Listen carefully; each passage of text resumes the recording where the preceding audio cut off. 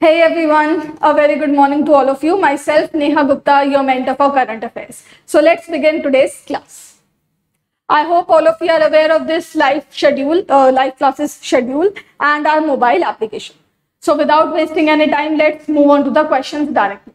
The first question is, where is the Voyage Express ferry operational? So guys, it is operational in Gujarat.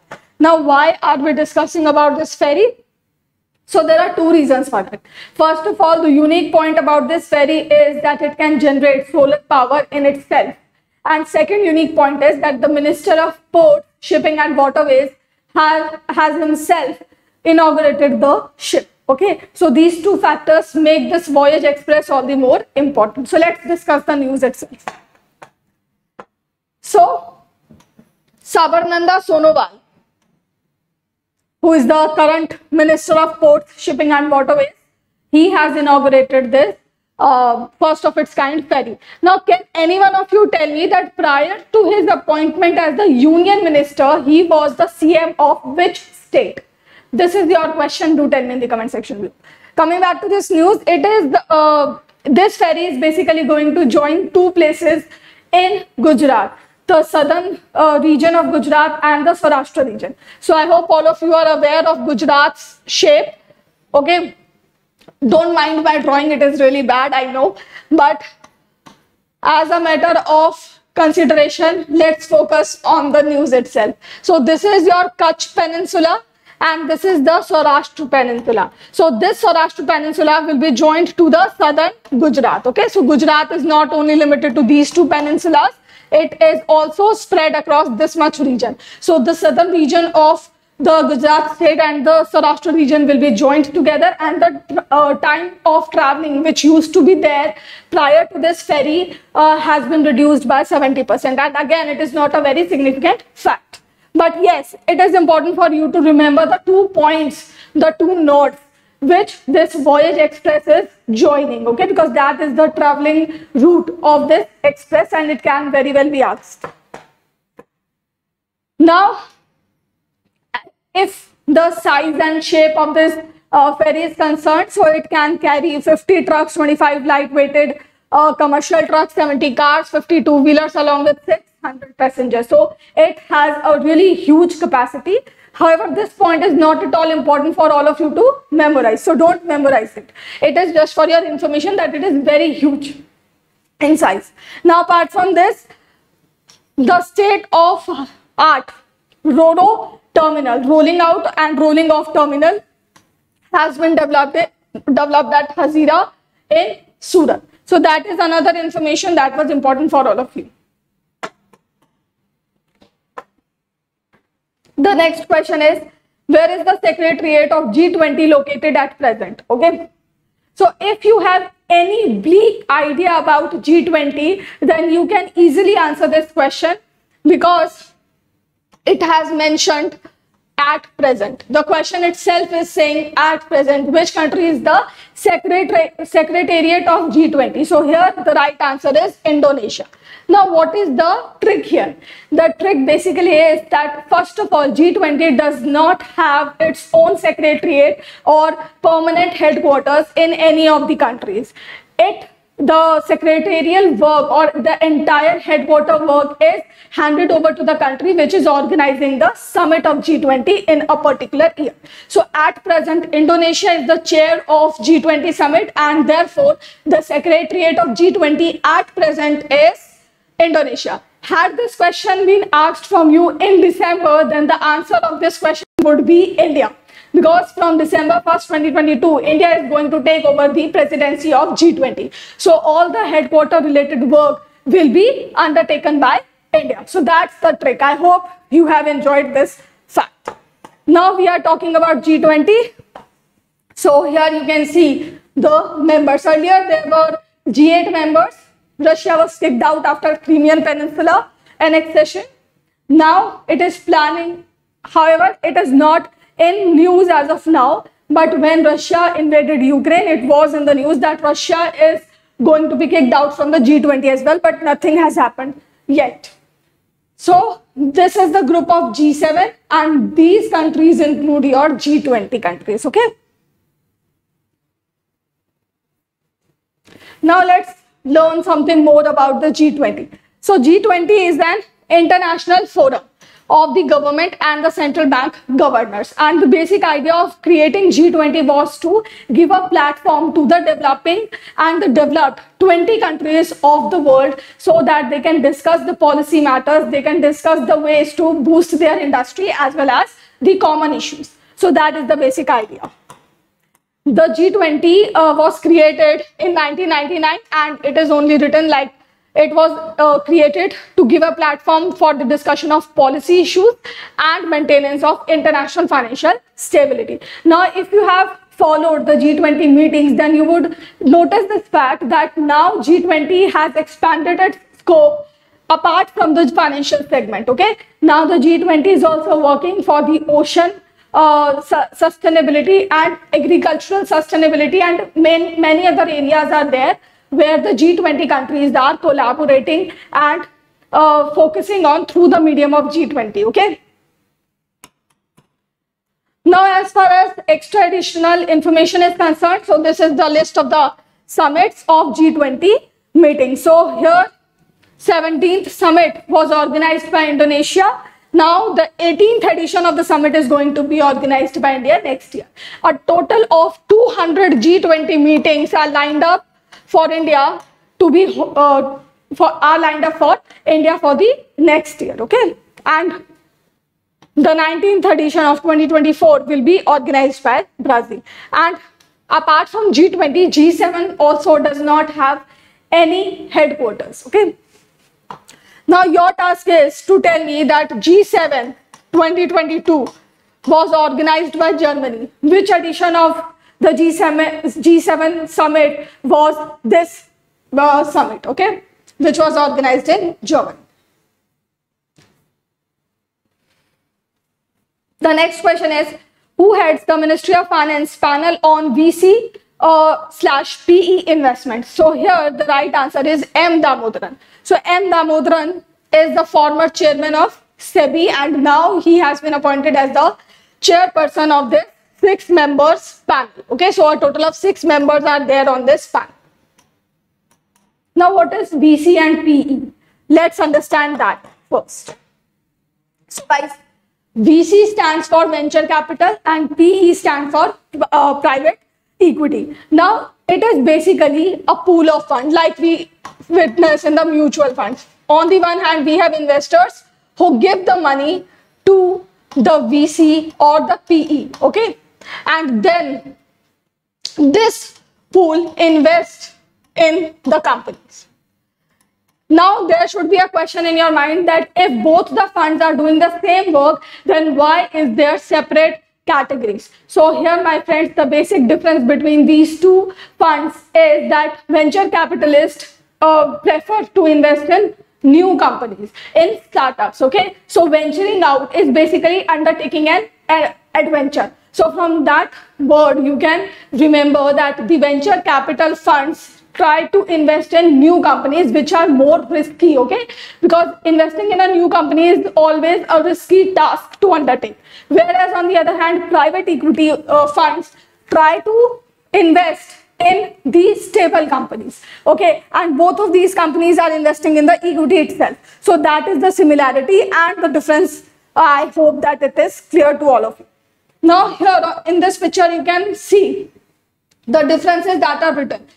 Venture capital invest uh, in the innovative startups whereas private equity invest in the traditional business who are in the need of help. So traditional businesses or the already established businesses have a lesser risk.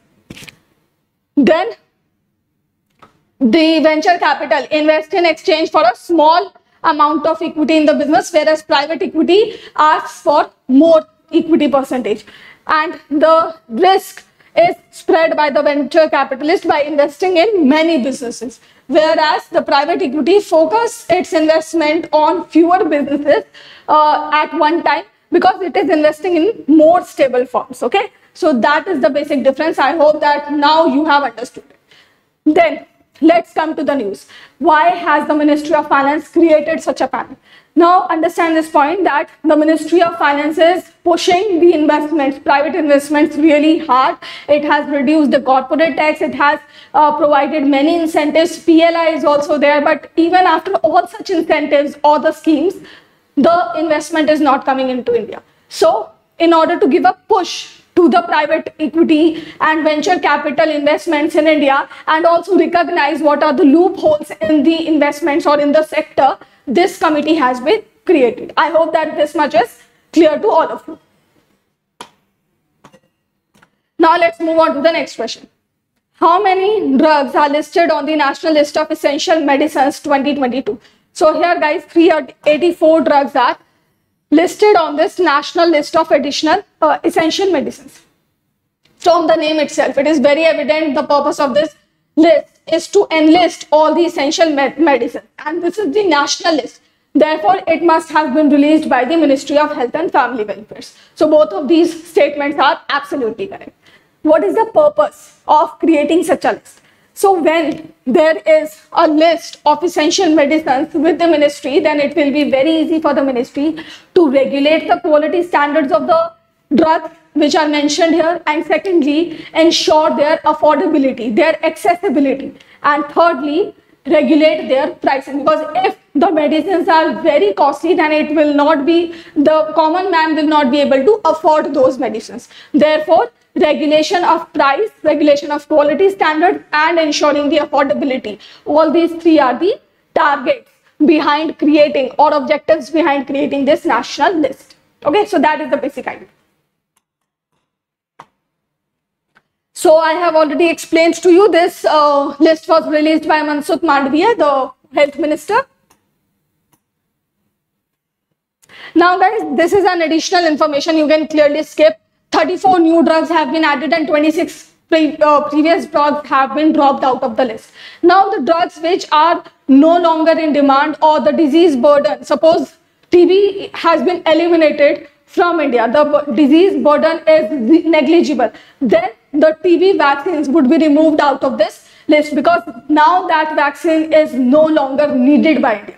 So if the need is reduced or if the medicine becomes outlandish or if there is a more effective, uh, you can say, drug is present in the market so the existing drugs are removed from the list. So that is an additional information no need to remember. So the first national list was released in 1996 then in 2003 it was revised, 2011, 15 and now in 2022 this list has again been revised. Now understand this one more point that WHO has for the first time created this model list of essential medicines and on the basis of that list India has also created its own national list of essential medicines. Okay and remember this one more point that whenever a country creates its own essential medicine list, then always the countries focus on the disease burden and the needs of its own people. Okay. So the WHO's model list was just an example and on the basis of that, India has created its own list. The very first list came out in 1996. Okay, there is certain uh, facts related to the list. First is that the National Pharmaceutical Pricing Authority determines the prices. So the prices of the drugs are determined by this NPPA, but this NPPA determines the drugs prices under the drug price control order.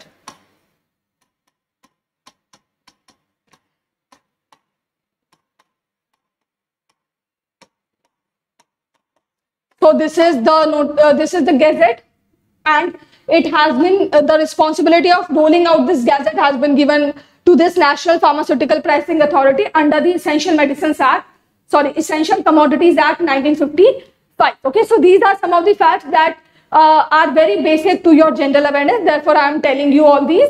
Okay.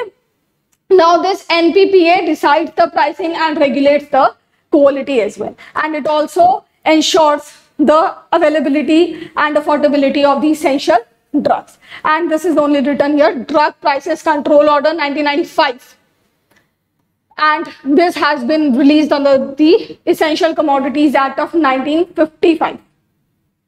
One more fact which is very uh, relatable, that fact is that the medical devices have been considered as drugs for the purpose of regulation and standardization. And this step was taken in 2020 only. Okay, so this is the time of COVID, and in order to ensure the quality standards as well as the availability of the medical devices at the right time, this step was taken.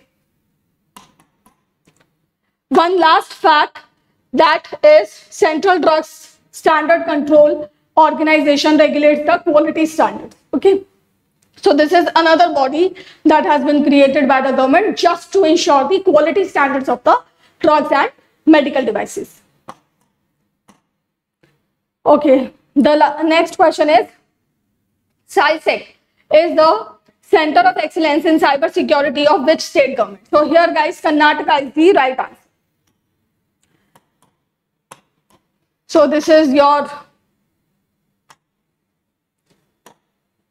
Uh, this is the Center of Excellence of uh, in Cybersecurity, which has partnered with Dell Technologies. And the basic purpose of this partnership is to have more and more cyber practices, okay? To know more and more about cybersecurity practices. That is the basic idea. And innovate new solutions so that cybersecurity can be strengthened. Next question is, where will the harbor phase of the Japan-India Maritime Exercise 2022 be held? So here, uh, Vishakhapatnam is the right answer. Every kind of naval exercise is uh, takes place in two phases. One is the harbor phase and another one is the sea phase. So the sea phase of this exercise will take place in the Bay of Bengal, whereas the harbor phase will take place in Vishakhapatnam. And this is guys the sixth edition of this exercise. Do remember the edition. In 2012, for the very first time, Japan and India conducted this maritime exercise. Okay, so that is also another fact. And 2022, guys, is the 17th year of India and Japan's diplomatic relations. And here, guys, is Vishakhapatnam. Okay, so it is located at the very north corner, northeast corner of this Andhra Pradesh state. The next question is which cities, uh, which country is hosting the exercise Kakadu uh, 2022? So here the right answer is Australia. Now it is a multilateral naval exercise where 40 countries are participating. From India, we have the INS Satpura and P-8I maritime patrol aircrafts, which are also known as the submarine hunters. So the short form or you can say the pet name of these aircrafts is submarine hunters. So these two are participating in the exercise Kakadu, which has been organized by the Australian Navy. Again, you can see that this naval exercise is also going to take place in two phases. First, sea phase, second, harbor phase. Okay. So here guys, you can see here, Darwin city is located where this exercise is going to take place. Okay, and this you can uh, see it more clearly in this picture. This is the Darwin city. Now, guys, you can see here a very you can say a very congested channel of water or the appropriate word would be strait. So I hope all of you have guessed my question name of this state in the comment section. The next question is, which satellites are used by the Hughes um, Communications in its uh, India's first high through, uh, throughput satellite broadband internet service? So here option A, GSAT 11 and GSAT 29 satellites are used by this Hughes India, uh, Hughes Communication India company. Okay. So this is guys the very first satellite internet connection, satellite broadband service that will be available even in the remote areas as well. So now the, the problem of internet in the remote areas will be solved and the internet will be provided with the help of GSAT and G29 communication satellites. So that is a very basic information and, and the news in itself was very basic you all know that now the companies like your uh, uh, your SpaceX, okay, it is also trying to create the Starlink network to provide the internet services even at the remotest corner of the earth. So similarly, Hughes Communication is also trying to do that. The next question is Khajane, second is the integrated financial management system of which state? So here Karnataka is the right. Now the news is that Karnataka Bank has partnered with the government's integrated financial management system known as second. And the basic purpose is to implement the government schemes. So all the schemes which relate to giving out the direct benefit transfers in the bank accounts, all those schemes will be implemented through the Karnataka Bank.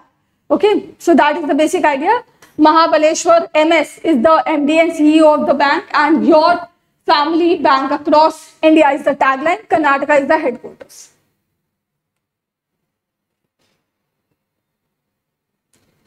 The next question is, which company has launched a term insurance plan, Click to Protect Super, uh, which allows the customers to customize, customize the plan as per their needs. So here, guys, HDFC life insurance is the right answer. So it is a new kind of insurance product that is customize, customizable.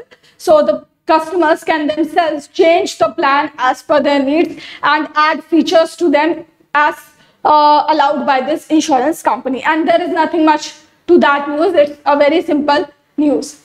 Sir, Uthake Jio is the tagline of this insurance company.